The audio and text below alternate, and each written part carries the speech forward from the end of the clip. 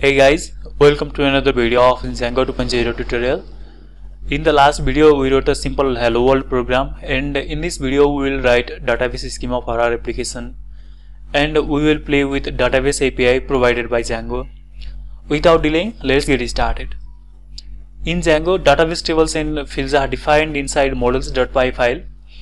Open your application's models.py file and edit it into this.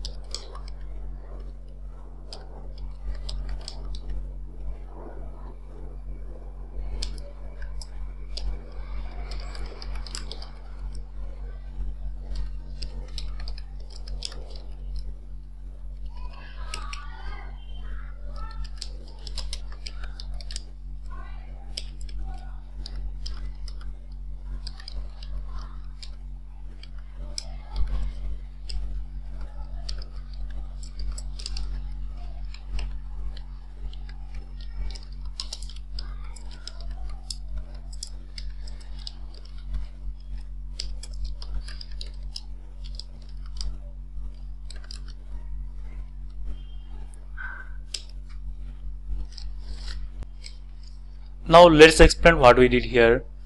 First, we defined a class named post which will be stored as table in our database. Inside post class, we defined some fields which will be saved as a column in our database. First field we define is title which is a char field and this will be translated to varchar column in database.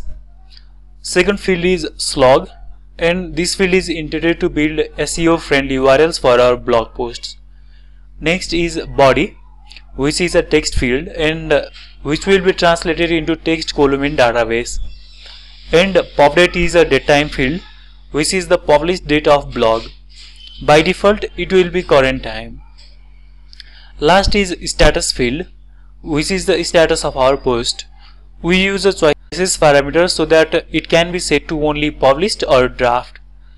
This draft and this published is what will be saved in database and this published and this draft is what will be shown to us. There are lots of fields in Django. You can read about them in official website. Here we have defined a class named meta inside the model class which contains metadata of our model. Here we are telling Django to sort results by published date in descending order when we query the database. The str method is the human readable representation of the object. Django will use it in many places such as administration side. In order to create database tables and fields defined here, our application should be activated first. To do that, open settings.py file.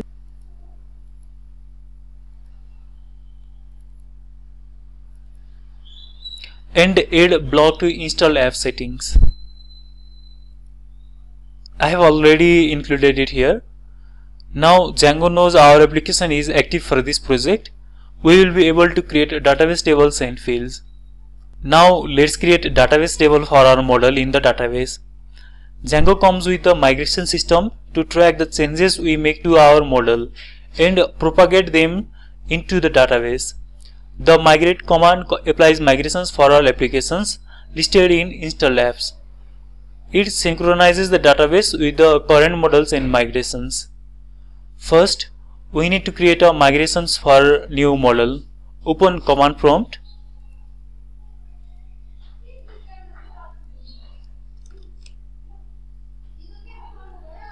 And then type python manage.py make migrations blog.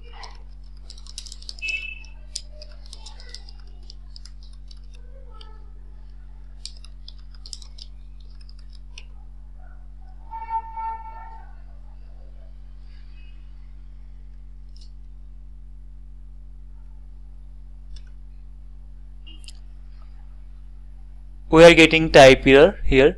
Init got an unexpected keyword argument max lengst sorry we made a spelling mistake so let's go to models.py file and oh there is mistake. Max lengst let's make to length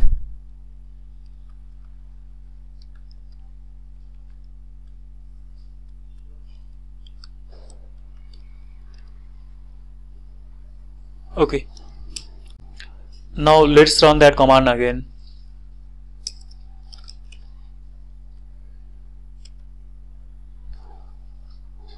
And again we got an unexpected error. Blog.post ordering must be a tuple or a list even if you want to order by only one field. Okay let's go to models.py file again and uh, here is what we make a mistake. We we should use comma here because we are we are defining a tuple here. Now let's run that command again. You should see result something like this. Migrations for blog uh, create model post. Uh, Django will create a file 0001 underscore initial dot py inside migrations directory of our application you can see here 0001 initial.py you can open that file and see how a migration looks like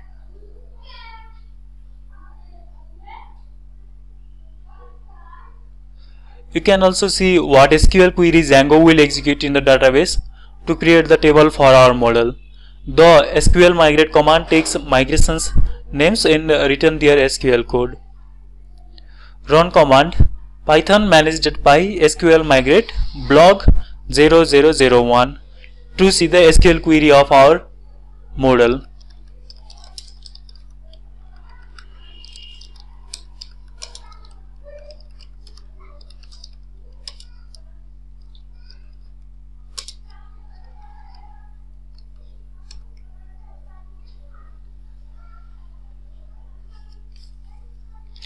This is the query Django will execute in the database. Django hasn't created tables in our database yet. Run command python manage.py migrate to apply migrations.